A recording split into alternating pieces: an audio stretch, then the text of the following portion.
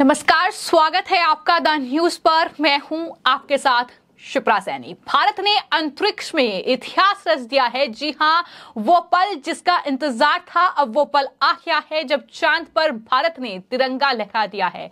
इसको लेकर भारतीय अंतरिक्ष अनुसंधान संगठन, यानी इसरो की ओर से भी ट्वीट किया गया है और उन्होंने ट्वीट करते हुए जो लिखा है, उसमें लिखा है कि मैं अपनी मंजिल पर पहुँच गया हूँ चंद्रयान थ्री। साथ ही देशवासियों को बधाई भी दी है। ज़ाहिर तौर पर इसरो की तरफ़ से किया किया गया ये ट्वीट जिस पर लोग लगातार रिएक्ट कर रहे कर रहे हैं, करीब तीन मिलियन तक ये ट्वीट पहुँच चुका है। लोग लगातार वैज्ञानिकों की हौसला अफजाई कर रहे हैं। इस पूरे सक्सेसफुल मिशन के लिए वैज्ञानिकों को बधाई दे रहे हैं चूँकि भारत वो देश बन गया है जब चंद्रमा के साउथ पोल पर जिस देश ने लैंड किया है पहला ऐसा देश, जी हाँ, वैसे तो भारत चंद्रमा पर लैंड करने वाला चौथा देश है, लेकिन अगर साउथ पोल की बात की जाए तो भारत ने एक अपने आप में इतिहास कायम कर दिया है। और यही वजह है कि जब चंद्रमा पर चंद्रयान थ्री की सॉफ्ट लैंडिंग हुई तो उसके बाद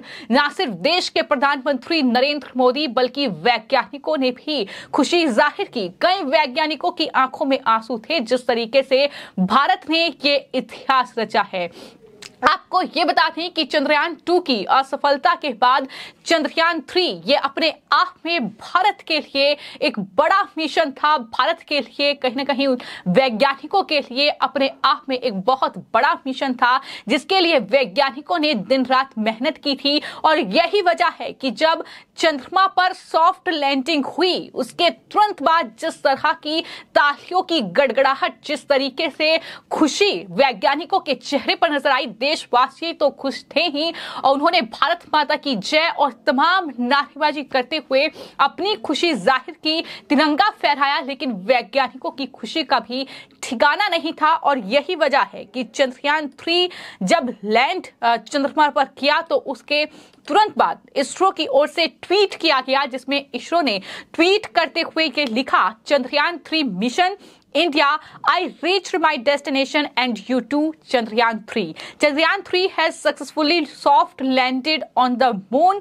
Congratulations, India.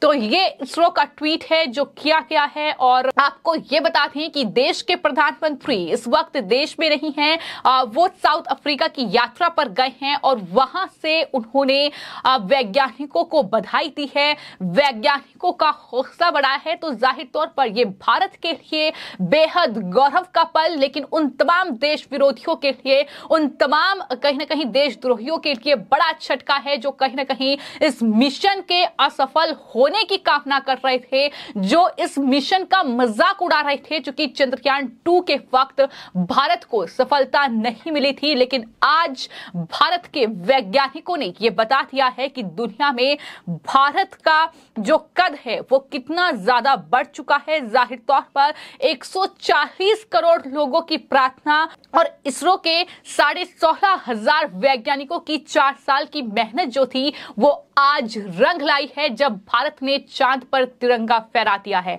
अब पूरी दुनिया ही नहीं, बल्कि चाँद भी भारत की मुट्ठी में है। जैसा कि साफ़ तौर पर यह माना जाता है कि चंद्रमा जो है, मात्र एक कल्पना थी, लेकिन आज वो कल्पना नहीं है क्योंकि अगर चंद्रयान थ्री की सॉफ्ट लैंडिंग चाँद पर हुई है तो ज़ाहिर तौर पर उसके बाद कई बड़ी रिसर्च होंगी कई बड़ी सर्च होंगी जो कहीं ना कहीं इस मिशन के चलते की जाएगी। भारत को कहीं ना कहीं बड़ी कामयाबी आने वाले वक्त में हासिल होगी। इसरो ने चाँद पर परचम लहराया है और यही वजह है कि इसरो की वाहवाही हो रही है। भारतीय अंतरिक्ष अनुसंधान संगठन ने कहीं ना कहीं अमेरिका के जो स्पेस एजेंसी है, नासा को भी पीछे छोड़ दिया है।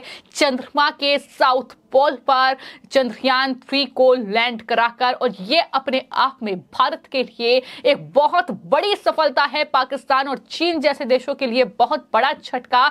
लेकिन वहीं इसरो ने जिस तरीके से अपना कद बढ़ाया है, आपको ये बता दें कि जो ट्वीट इसरो की ओर से किया गया है लगातार वैज्ञानिकों को बधाई मिल रही है। वैज्ञानिकों पर गर्व है। जिस तरीके से उन्होंने दिन रात इस मिशन के लिए मेहनत की है तो ये तमाम चीज़ें जो हैं, वो देखने को मिल रही हैं। लेकिन ये अपने आप में ज़ाहिर तौर पर भारत के लिए और पूरे देशवासियों के लिए गौरव का पल है।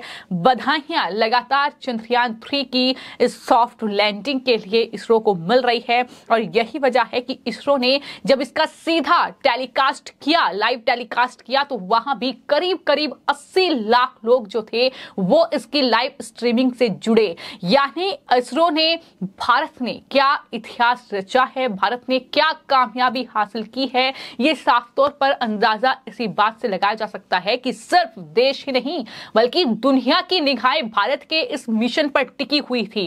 क्योंकि अंतरिक्ष में अपने आप को स्थापित करके एक सुपर सुपर पावर के तौर पर अब भारत जो है, वो कहीं ना कहीं इस सामने आया है, जिस तरीके से चंद्रयान थ्री की सॉफ्ट लैंडिंग चंद्रमा पर हुई है और ये अपने आप में कहीं ना कहीं दिखाता है कि किस तरीके से करवा चौथ की छन्नी से सिर्फ़ चाँद नहीं, बल्कि देश की बुलंदी भी अब दिखेगी। ये अपने आप में कहीं ना कहीं एक बड़ी बात है, जो कहीं ना कहीं चाँद की तरफ़ देखकर अपने भविष्य के सपने को पूरा करेंगे। अब ज़ाहिर तौर पर तमाम बच्चे जिन्हें चाँद को चंदा मामा कहते हैं, लेकिन अब जिस तरीके से वैज्ञानिकों ने काम किया है, जिस तरीके से आपको याद होगी वो तस्वीर जब साइकिल पर इसरो के वैज्ञानिक सफ़र करते थे किसी मिसाइल को लेकर, लेकिन आज वक्त बदला है और आज भारतीय अंतरिक्ष अनुसंधान संगठन किस तरीके से काम कर रहा है, दुनिया के तमाम बड़े दिग्गज देशों को टक्कर दे रहा है और देने में कामयाबी हासिल की है। ये आज चंद्रमा की, जो सतह पर, चंद्रयान थ्री की लैंडिंग हुई है, उसने साफ़ तौर पर यह दिखा दिया है कि 140 करोड़ भारतीयों की प्रार्थना आज काम आई है। वैज्ञानिकों को इस मून मिशन में सफलता मिली है।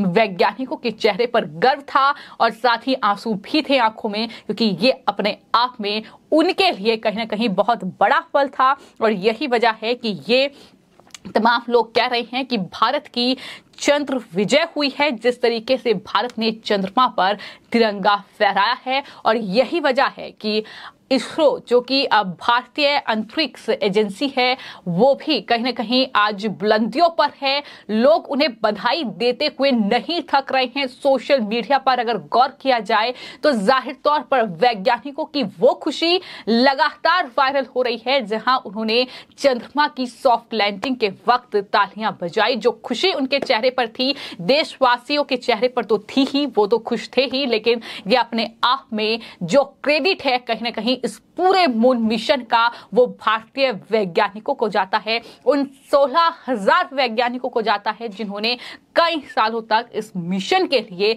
दिन रात मेहनत की और साथ ही वो असफलता से नहीं घबराए। चार साल, साढ़े चार साल बाद एक बार फिर जब मिशन उन्होंने शुरू किया, जब उन्होंने चंद्रयान थ्री लॉन्च किया तो उसके बाद ही वैज्ञानिकों को ये पूरा भरोसा था कि हम चाँद की सतह पर तिरंगा फहराएँगे और वो दिन आज आ गया है। जब हमने चाँद की सतह पर तिरंगा फहराया है और दुनिया के उन देशों को मुंहतोड़ जवाब दिया है जो कहीं ना कहीं भारत के खिलाफ या भारत के इस मिशन के खिलाफ जहर उगलने का काम कर रहे थे। फ़िलहाल आपकी इस मिशन पर और वैज्ञानिकों की इस कामयाबी पर, उस पूरे वीडियो पर क्या राय है, हमें कमेंट बॉक्स में ज़रूर लिखें और चैनल को सब्सक्राइब करें। धन्यवाद।